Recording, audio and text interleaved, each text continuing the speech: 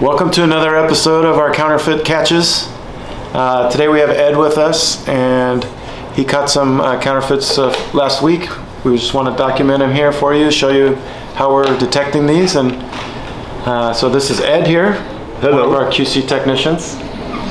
Um, how did you uh, come across these, Ed? Well, during um, incoming inspection, um, looking under the scope, you can see the indent are textured on the top surface, but on the bottom, there's no texture on the indent.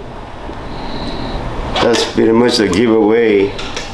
So that was kind of your first indication. yes, Yeah. that they're blacktopped. Yeah. So you knew before you started doing any other tests, you could just see it. Yes, uh, with the naked eye, it's very visible. With the naked eye, even before the Yes. microscope, yeah. Okay. So then, uh, just to document that or to prove that, what did you do next? the scrape will see um, how the the uh, coating will scrape That shows how you do that.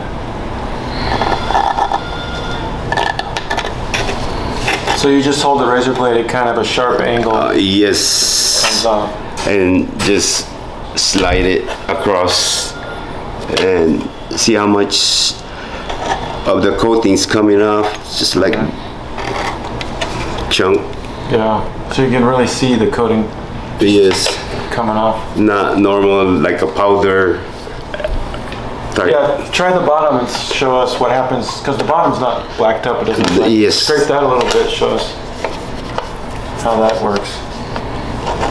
Should look different, right? Yes, it's, it's powdery. Okay, yeah. No.